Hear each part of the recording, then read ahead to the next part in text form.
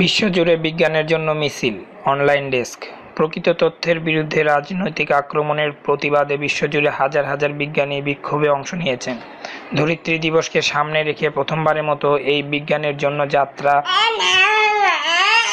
এই বিজ্ঞানের জন্য যাত্রা আয়োজন করা হয়। যাত্রা থেকে পরিবেশ সুরক্ষার বিষয়ে ব্যবস্থা গ্রহণের দাবি তোলেন বিজ্ঞানীরা। আয়োজকরা বলেছেন, তারা বিজ্ঞানীদের সুরক্ষা এবং তাদের প্রতি সমর্থনে আহ্বান জানাচ্ছেন।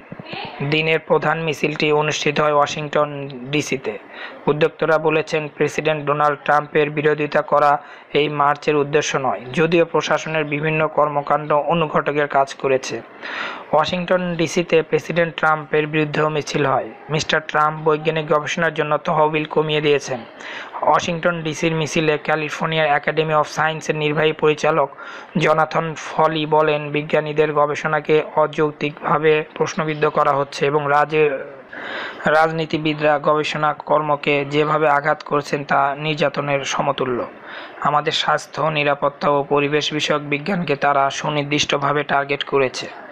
যে বিজ্ঞান আমাদের সবচেয়ে মূল্যবান বিষয়গুলোকে সুরক্ষা করে। এর ফলে কিছু মানুষ হয়তো দুর্ভোগে পড়বে, কিছু মানুষ মারা যাবে, বলেন ডক্টর ফলি। অস্ট্রেলিয়ার সিডনিতে বড় মিছিল করেন বিজ্ঞান সমর্থকরা। বিক্ষোভকারীদের মতে বৈজ্ঞানিক তথ্যের বিরুদ্ধে আক্রমণ হচ্ছে। অস্ট্রিয়ার অস্ট্রিয়ার ভিয়েনায় আয়োজকদের ফেসবুক পেজে বলা হয়েছে, হোয়াইট হাউসে মিস্টার ট্রাম্প আসার পর থেকে যে আন্দোলন শুরু হয়েছে তাতে অংশ নিতে মানুষকে তারা উদ্বুদ্ধ করছে।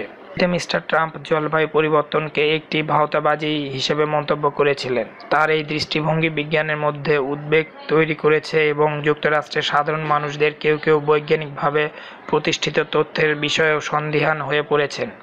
মার্স ফর সায়েন্সের আরেকটি লক্ষ্য হচ্ছে বিজ্ঞানী এবং তাদের গবেষণা কর্মকে সাধারণ মানুষের আরও কাছে নিয়ে আসা।